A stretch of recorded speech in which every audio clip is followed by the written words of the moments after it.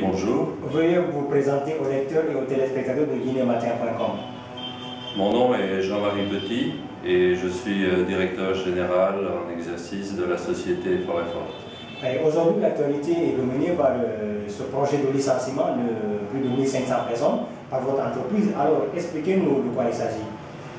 Euh, effectivement, depuis maintenant près de deux mois, une, une demande pour euh, l'entame d'une procédure de licenciement euh, collectif euh, pour raison, pour motif économique a été effectivement déposée et est aujourd'hui en cours.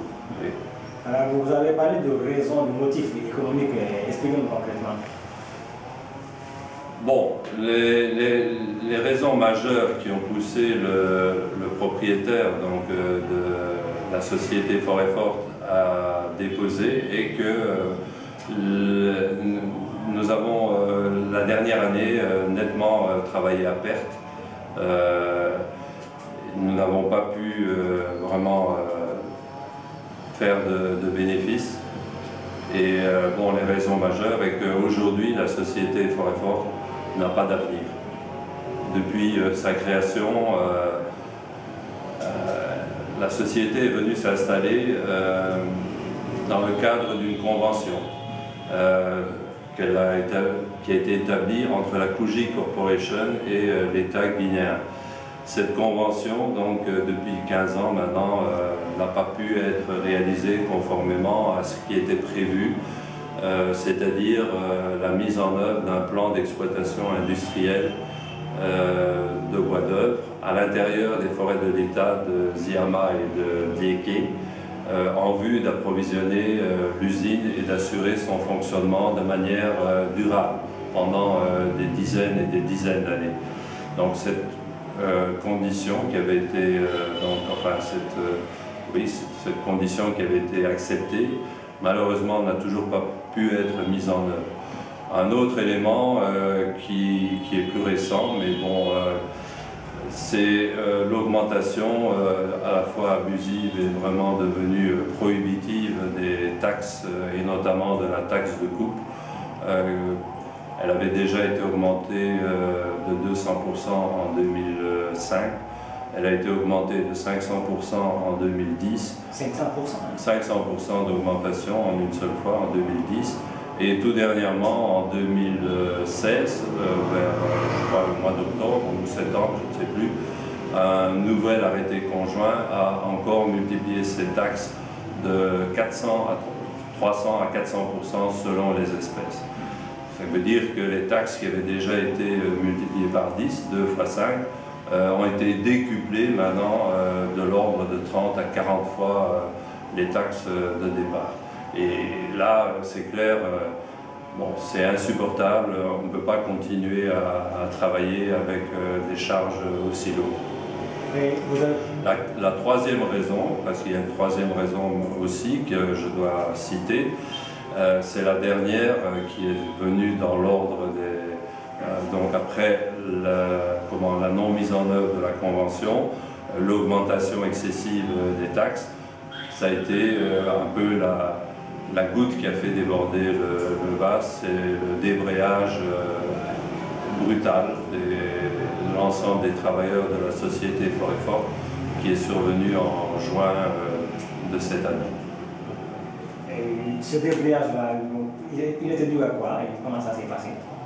Bon, euh, on n'a pas très bien compris. bon, bien sûr, après on a dit on veut on a fait toute une liste de, revendications, euh, dont la principale était une augmentation des salaires de l'ordre de 200%. Alors que, euh, en fait, nous avons commencé cette euh, dernière campagne, donc à partir de décembre, janvier de décembre 2016, janvier 2017, nous avons commencé cette campagne que sur base de promesses de, revoir euh, la taxation, euh, à la fois, donc ça c'est par les, autorités de, Conakry, euh, qui avaient promis de se pencher sur ce problème, et parce que nous, nous sentions une responsabilité, je dirais, morale vis-à-vis de nos travailleurs, parce que pas de travail, pas de salaire.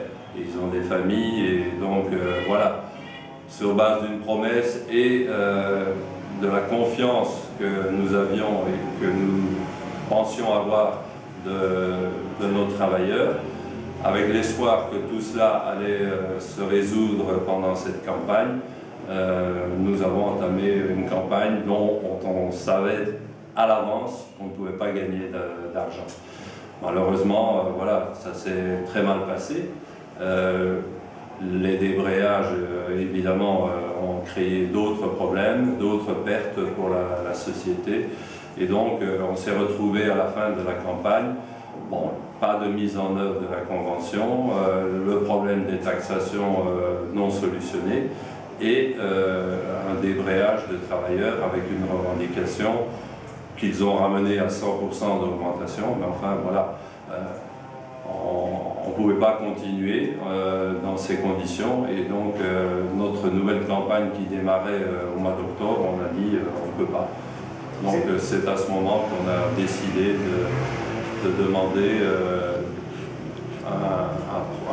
de mettre en place un processus de licenciement collectif pour euh, motifs économiques. Alors, parmi les, raisons que vous avez évoquées pour la fermeture de, l'usine de Forêt Forte, c'est bien sûr le non-respect de la convention signée entre l'État guinéen et la société. Parlons-nous un petit peu de cette convention-là. Qu'est-ce qu'elle dit au juste? Bon, donc euh, cette société, il faut savoir euh, qu'elle est nouvelle, elle s'est créée en, 2002. Bon, euh, le propriétaire, M. Kim, n'a pas créé sa société comme ça par hasard. Il y avait en fait effectivement un projet d'exploitation industrielle qui était en élaboration et déjà bien avancé au niveau du centre forestier et concernant justement euh, deux massifs, parmi ceux qui étaient confiés à sa gestion, celui de Zierma et celui de Dieke, il y avait un projet de mise en œuvre d'une exploitation euh, euh, rationnelle, durable, donc avec des techniques d'exploitation à faible impact et éventuellement même la, recherche d'une certification de niveau international. Bon, donc ce projet d'exploitation industrielle existait. C'est le centre forestier qui devait mettre en œuvre euh, ce plan d'exploitation industrielle, mais il n'avait jamais eu l'ambition de, euh, de, réaliser lui-même cette exploitation industrielle et cherchait un partenaire donc, pour euh, réaliser cette exploitation industrielle. Voilà, et donc c'est comme ça que euh, voilà, une convention a été signée entre la Kuji Corporation et l'État guinéen. D'une part, on demandait à, l'investisseur de créer une usine pour la fabrication de contreplaqués et de créer un minimum de 400 emplois. En contrepartie, l'État s'engageait à lui fournir l'accès aux, aux, ressources euh, comment objet de, ce plan d'exploitation industrielle euh, en élaboration, euh, de manière à lui assurer durablement son approvisionnement en bois et donc pour des, dizaines et des dizaines d'années.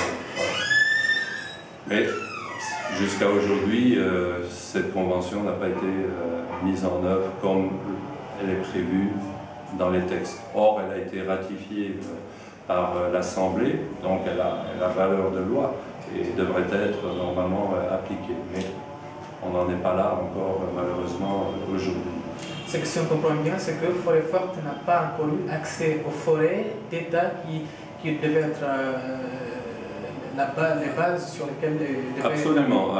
donc, jusqu'à aujourd'hui, Forêt Forte n'a pas coupé un seul bois, ça je, je, je le souligne, un seul bois n'a jamais été coupé par la société Forêt Fort à l'intérieur des forêts de l'État. Euh, par défaut, on nous a orientés donc, euh, dans les terroirs villageois qui sont euh, entre ces forêts classées de, Guinée forestière.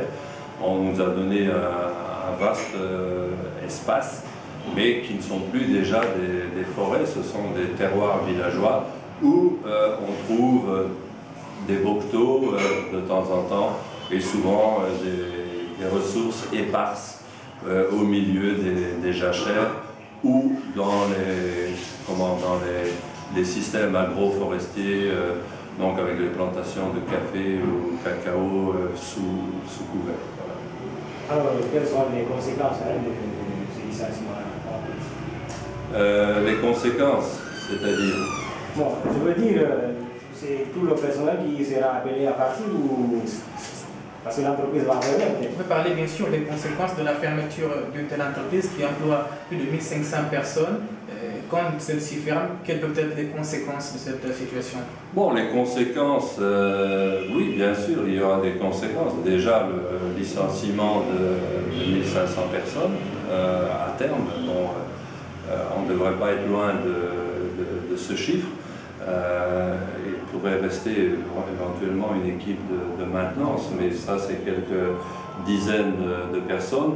le reste, bon alors effectivement, bon, dans la région de, de Nzérékoré et euh, notamment aussi la commune rurale de, Samoué, euh, bon, ce sont les principaux fournisseurs d'emploi de, la société euh, Forêt Forte. c'est clair que 1500 personnes qui travaillent, ça veut dire 1500 familles qui perdent une source de revenus mensuels.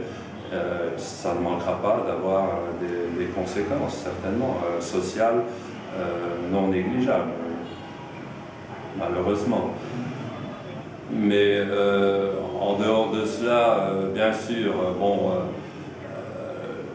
les, bénéficiaires, bon, ben, d'abord on paye des taxes aussi, puisque bon, on nous avait augmenté les taxes, donc on ne va plus couper de bois, donc on ne payera plus de taxes. Hmm donc ça ne rentrera plus dans les caisses euh, du, Front forestier, euh, dans les caisses de l'État. Euh, chaque année, on réparait des centaines de kilomètres de, pistes. On a créé, on a réalisé des ouvrages de franchissement, des ponts en bois, dont certains de plusieurs dizaines de, mètres, pour faire passer donc, nos grumiers quand même, des, camions de plus de 30 tonnes. Euh, ce sont des ouvrages importants, coûteux. Hein, euh, on a fait euh, beaucoup de, passages busés, etc. Et, beaucoup d'autres actions. voilà. Aujourd'hui, voilà, les, routes de toutes ces campagnes seront certainement moins, bien, moins bien entretenues du fait que la société Forêt va abandonner partout là où elle travaillait, au moins elle entretenait euh, un minimum de, réseau de, pistes. Euh, nous avons construit aussi, euh, avec les, taxes, toujours des, dizaines, sinon davantage, d'écoles, des centres de santé dans, les communes rurales, n'est-ce pas?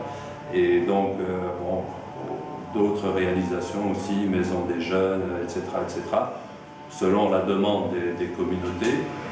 Tout ça euh, va s'arrêter euh, de la même façon.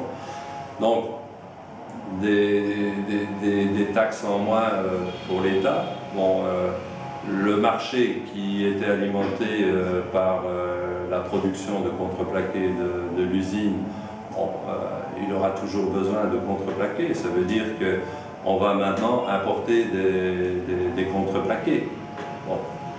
Et euh, au-delà de tout cela, euh, encore une fois, je l'ai dit, euh, la société Forêt Forte est venue parce qu'il y avait un projet d'exploitation industrielle qui était en élaboration au niveau du centre forestier, qui devait générer des recettes substantielles annuelles pour ce centre forestier, pour lui permettre de fonctionner et pour lui permettre d'assurer l'ensemble de ses missions au niveau des massifs euh, forestiers de l'État qui lui étaient confiés.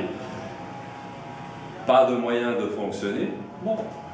Donc le, centre forestier ne pourra pas accomplir euh, ses missions et les forêts, euh, c'est déjà le cas d'ailleurs aujourd'hui, sont de plus en plus agressées par des populations pour y installer de nouveaux champs pour, pour y couper des, bois, etc., Donc, on peut craindre qu'à terme, les forêts d'État soient sérieusement attaquées. c'est une réalité qu'il faut envisager. Alors, la procédure de, fermeture de, forêt forte est déjà lancée. On apprend déjà que plus de 400 personnes ont reçu les notifications de licenciement. Est-ce qu'il y a des démarches qui ont été engagées, notamment euh, par les autorités, pour essayer d'empêcher la fermeture de cette entité industrielle? Bon, euh, avant de prendre notre décision, euh, nous avons tiré les sonnettes d'alarme partout où c'était possible au niveau de la région de Nzerikoré, mais euh, ici aussi au niveau de, Conakry. Bon, maintenant, euh, une fois que la procédure euh, a été acceptée par l'inspection du travail, donc elle suit son cours conformément à ce qui est prévu dans le code du travail. Et pour l'instant, donc effectivement, je confirme qu'il y a eu une première liste de 123 personnes euh, qui ont reçu leur notification de licenciement et une seconde liste de 299 personnes, soit 422 euh, personnes qui ont reçu euh, leur notification de licenciement. Mais bon, ça ne veut pas dire que le processus ne va pas se poursuivre. pour l'instant, il est, il est, en route et de toute façon, le propriétaire n'a pas autre solution, n'a pas autre choix aujourd'hui, tant qu'il a encore les moyens de licencier et de faire les soldes, de, payer les soldes de tout compte à, l'ensemble de ses travailleurs. On n'a pas autre solution pour l'instant. Et si l'État, par exemple... Parce que je n'ai pas de bois à couper, et si je maintiens l'ensemble des travailleurs, je dois payer des congés techniques avec euh, pas forcément euh, l'assurance que euh, dans autant de temps, de mois, je pourrais démarrer une nouvelle exploitation. Mais si l'État arrivait à signer cette convention dont on a parlé là, et ça pourrait régler le problème? La convention qui est déjà signée, qui est ratifiée, qui est promulguée, et si l'État la mettre Bon, comme, comme on l'a dit, il y avait plusieurs problèmes. Il y, avait problème de de taxation à résoudre, bien sûr. Il y a un problème euh, de mise en œuvre de la Convention, mais bon, ça, euh, c'est quand même... Euh, bon, c'est une opération que... Enfin, bon, ça... C'est pas un claquement de doigts. C'est pas de dire, on est d'accord, on, met en œuvre la Convention. il faut préparer les plans d'exploitation. Et ça, il faut du personnel. Euh, il faut qu'on euh, débloque de l'argent pour que les, travaux soient, mis en, route, pour que les plans d'exploitation soient préparés, etc.. Et ça, euh, ça va prendre encore pas mal de temps. Bon. Donc voilà, pour l'instant, bon, moi je ne suis pas non plus le, propriétaire de l'usine, je ne suis que le, gestionnaire.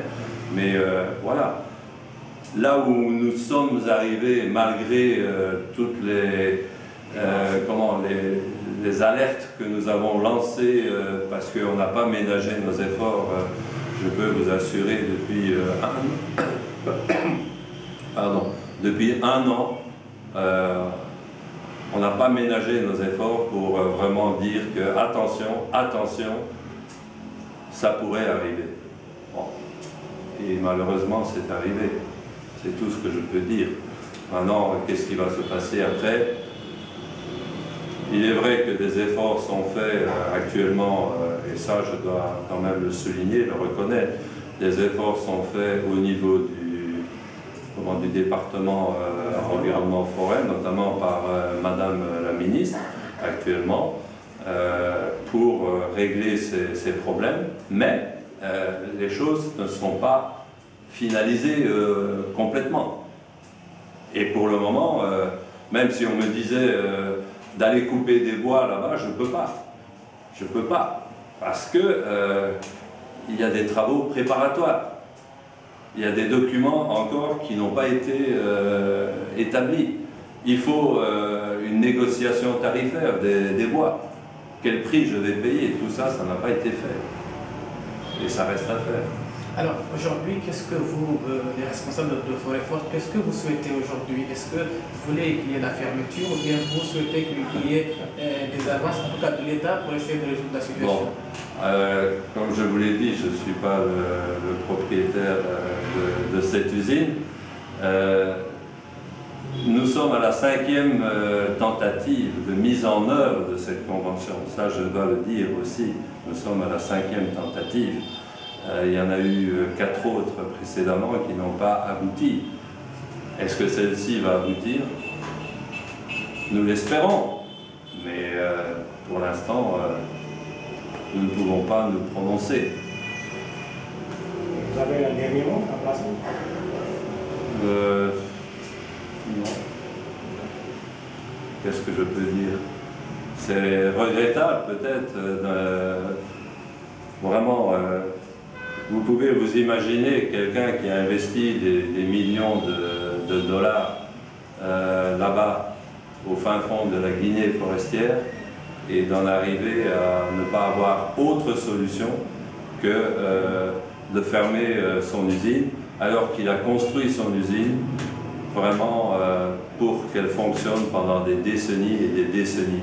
Car je peux vous dire qu'il n'y a pas une seule usine dans toute la sous-région ici, et peut-être même beaucoup plus loin, qui arrive à la hauteur de celle qui était construite ici. Ça, ça nous a été euh, rapporté